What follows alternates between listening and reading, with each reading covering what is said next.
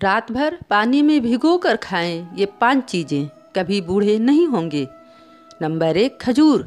खजूर को अक्सर दूध में उबाल कर खाया जाता है, लेकिन बहुत कम लोग जानते हैं कि छुहारे को रात भर पानी में भिगोकर सुबह खाली पेट इसका सेवन करने से शरीर की कई बीमारियों को नियंत्रित करने में मदद मिलती है।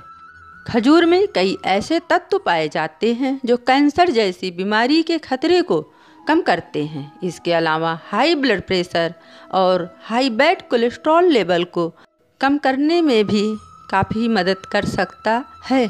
नंबर दो, अंजीर। पानी में भिगोकर अंजीर का सेवन करना ज़्यादा फ़ायदेमंद हो सकता है। इसके सेवन से पाचन क्रिया बेहतर होती है और साथ ही कब्ज जैसी समस्या भी नहीं होती। पानी में भीगी हुई अंजीर का सेवन हाई ब्लड प्रेशर और बैड कोलेस्ट्रॉल के मरीजों के लिए भी अच्छा होता है। इसके नियमित सेवन से ये रोग नियंत्रण में रहते हैं।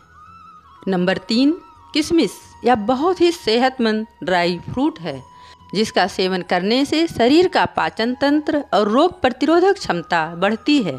साथ ही किशमिश में भरपूर मात्रा में पोटेशियम पाया जाता है, जो ब्लड प्रेशर को कंट्रोल करने में आपकी मदद कर सकता है।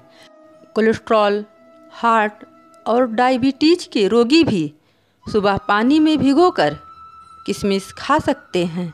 नंबर चार, काजू। काजू न सिर्फ़ स्वादिष्ट होता है, बल्कि सेहत के लिए भी उतना ही सेहतमंद होता है।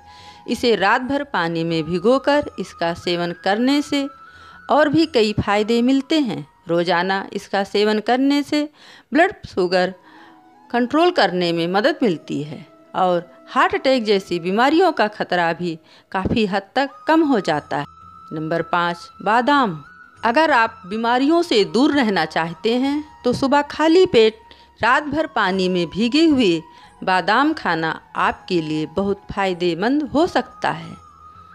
शरीर में खराब कोलेस्ट्रॉल के स्तर को कम करने के लिए बादाम को पानी में भिगोकर सेवन करना बहुत फ़ायदेमंद होता है। इसके साथ ही इसके नियमित सेवन से डायबिटीज़ का खतरा भी काफ़ी हद तक कम हो जाता है। आपको वीडियो पसंद आई हो तो लाइक, सब्सक्राइब और शेयर ज़रूर कीजिए। कमेंट करके ज़रूर बताएँ यह वीडियो आपको कैसा लगा। वीडियो देखने के लिए आपका बहुत बहुत धन्यवाद।